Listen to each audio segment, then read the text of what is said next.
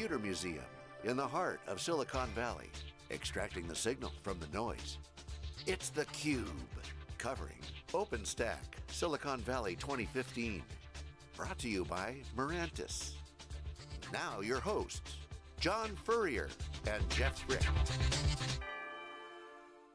Okay, welcome back everyone. We are here live in Silicon Valley. This is SiliconANGLE Media's theCUBE, our flagship program. We go out to the events and extract the signal from noise. I'm John Furrier, my co-host Jeff Frick, here at the Computer History Museum. We have, for the first time on theCUBE, as an IBMer, Monty Taylor, who's now Director of OpenStack Innovation at IBM, formerly of HP, been on the board of directors for the OpenStack Foundation, technologist, great guy, CUBE alumni, again, formerly with HP. Welcome to theCUBE. Thank you. As an thank, IBMer, thank we also have all the IBM events, Insight coming up, and yeah. obviously we do a lot of, lot of uh, coverage of IBM. Welcome to theCUBE. Thank you, thank you, thank you very Great much. Okay, so first question, why the change? IBM poached you, were you solicited, did you leave on your own? What's the deal? So, uh, they're gonna they're gonna love this answer. But so all things start with going out for drinks with Jesse Proudman uh, in New York City. we should have um, uh, and, and, and, really yes, from Jesse there, uh, Proudman. from there everything is, is history. And so so Jesse and I got to talk, and we we we chatted a, a few times before because he's he's an awesome guy, and and he started letting me know that uh, that OpenStack uh, that that IBM is going to be doing an OpenStack public cloud like Amazon scale. They were gonna they were gonna go after the, the, the big the big guys, right, and actually actually do it.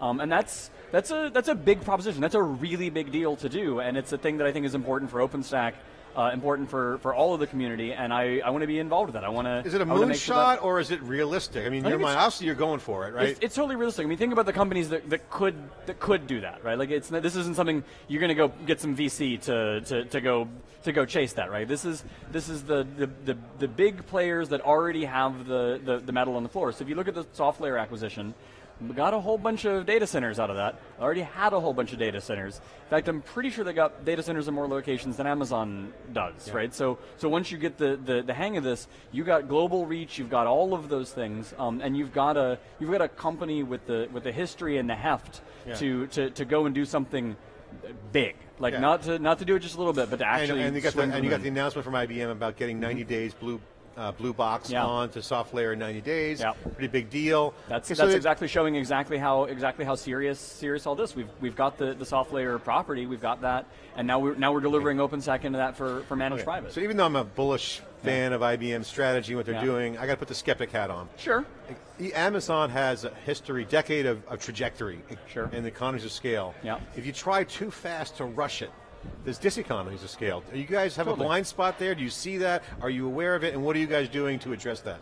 I mean, so there's a there's a few things there. First of all, they, they do have 10 years of of, uh, of experience at scale, but I'd, I'd argue that, that IBM has over 100 years of experience uh, in in uh, technological innovation, and and they were they were they've been doing this cloud thing in a, in a thing called mainframes uh, for for much longer than Amazon has been a twinkle in anybody's eye.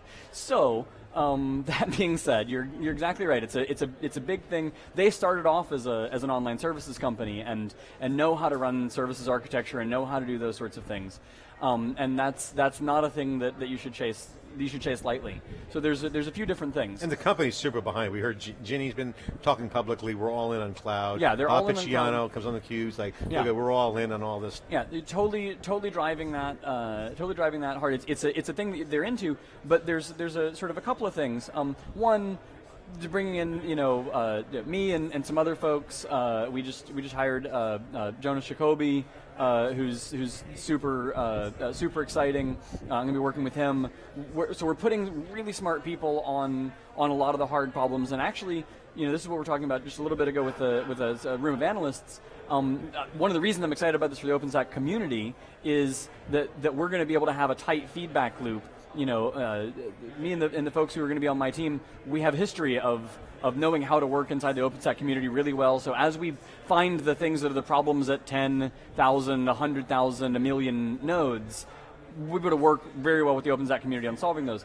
On the other hand, IBM it may not get as much credit as it as it should for the online properties that it that it does actually run. Like it's Well, and also their history in open source. I mean, Yeah. they took a bet on Linux Yeah. when it was a second-class citizen. Exactly. When they- IBM had a lot to lose betting on open source at the time. That's exactly right. And in fact, I'm gonna I'm gonna get this wrong because I've I've only just did my IBM orientation yesterday, so I'm gonna get all the all the dates and details wrong about this. But IBM's actually bet the entire company on on entirely new technology uh, before in its history. You mentioned Linux. Um, back in the I think it was the 30s. Uh, hang on, yeah, 30s was the depression, right? Uh, see, this Yeah. is oh Yeah. man, I'm, I'm Yeah. in trouble. In the 30s, Yeah. um, everybody else was was having having financial problems. IBM decided to double down um, and put all of its money into uh, into into the tabulating machines for for tabulating things.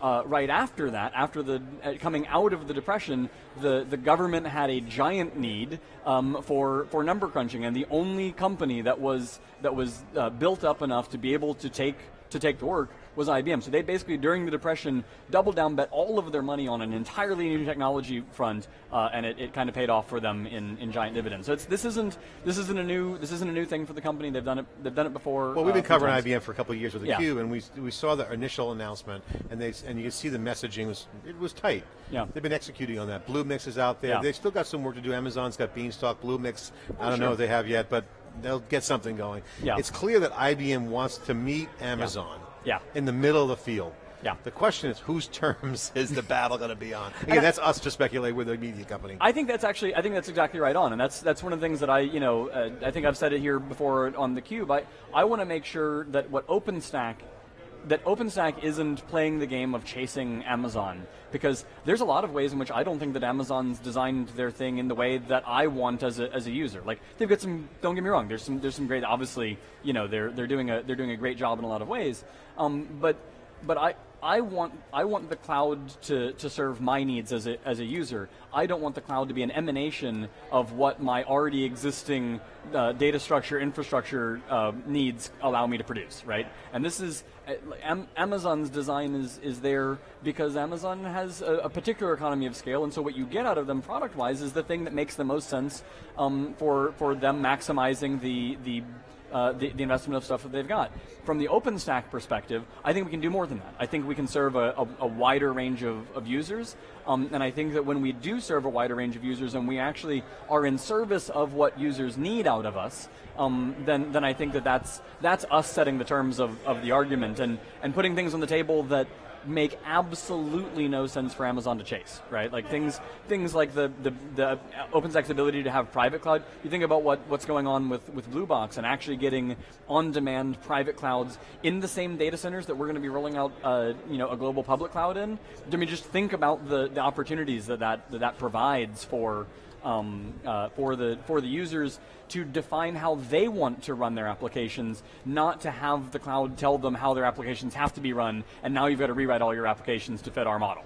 You know, Well, so- certainly pure play public cloud, Amazon does well. Again, a Yeah. lot of holes to fill. In Sure. OpenStack within the community, Jonathan was on stage this morning talking about the, the quadrant, Yeah. niche, unicorns. Uh, I forget what the top left was, but then the winners Yeah. Mm-hmm. mass adoption, technology maturity. yeah. Virtualization, no problem. Core Yeah. compute, get that. Sure. What's next? Because the stuff's moving fast up. What's maturing the fastest? Can you handicap some of the things? So I'm I'm still I'm still extremely uh, extremely bullish on uh, on on bare metal, which is uh, maybe shows my I, it may not look like I'm an old graybeard, but I'm a, I'm an old I'm an old Unix graybeard. So I'm I'm still extremely excited about the fact that we're doing more and more in the in the bare metal space uh, and enabling that. Um, uh, in the in the same control plane and, and, and, and connected into the same networking infrastructure. Those are those are kind of big deals. Um, uh, also, I can't possibly get any credit for saying, "Oh my gosh, I think containers are exciting," because Yeah, you know. I mean, oh wow, big news, yeah. Um, ooh, I'm I'm I'm so I'm so amazing. Um, but what I think is actually uh, uh, interesting there from an OpenStack perspective um, isn't let's go reinvent what's happening with containers. The containers guys are doing a great job, but if if I can hook that in again to the into the networking fabric, if I can if I can make those things run side, but it turns out some of your applications might want to run in bare metal, some of them might want to run in VMs, some of them uh, are are great for things like Kubernetes and, and and Docker and Cloud Foundry and things like that.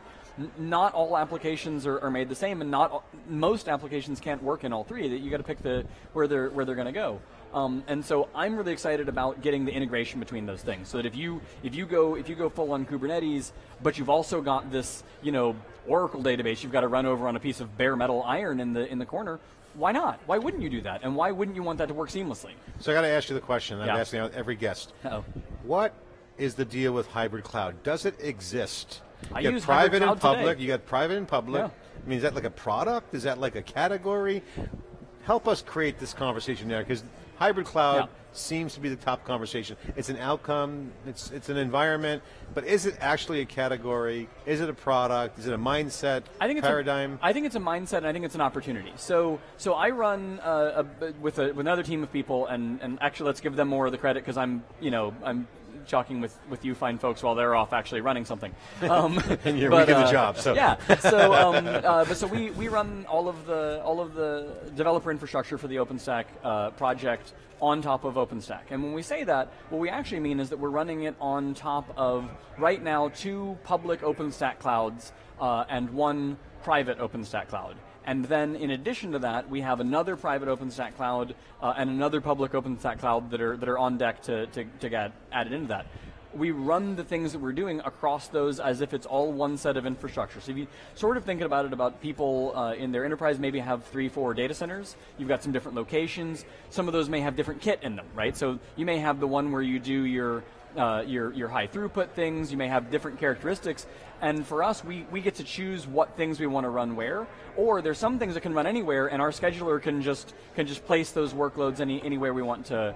To, to place them, so um, so the key is moving workloads. it's but it's it's And moving cost. workloads. It is, but I, I want to be clear what I mean when I say moving workloads. There's other people who mean different things. Yeah, okay. I don't mean I'm running an app here and all of a sudden and it's in Texas in Rackspace's uh, uh, data center and I click a button and all of a sudden it's in Paris in in OVH's data center. That's not what I mean by moving workloads. I mean that to me creating uh, creating compute resources in any of those locations is is all the same to me. I can create one here, I can create one there.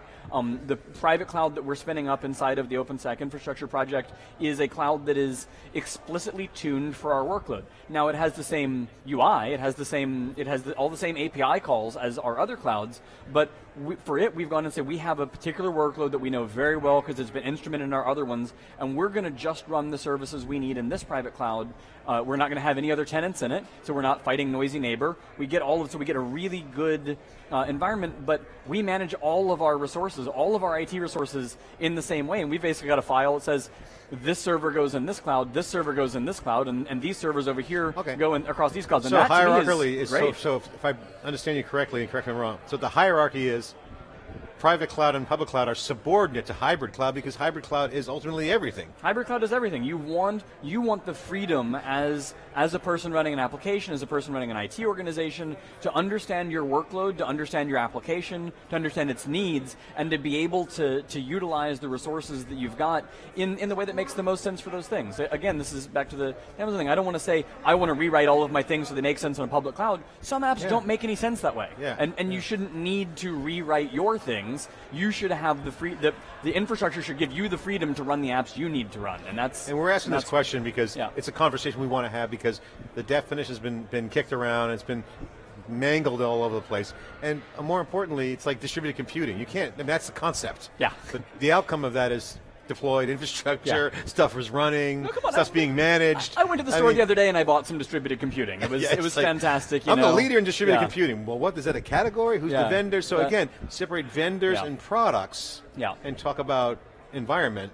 Yeah. That seems to be what hybrids. That's that's what it is to me, and, and one of one of the promises um, that I, that I see in OpenStack is that in addition to, to that mindset, um, it, it should be possible to mix and match vendors. Like this this is one of the one of the you know one of the, the great things here. There's absolutely no reason.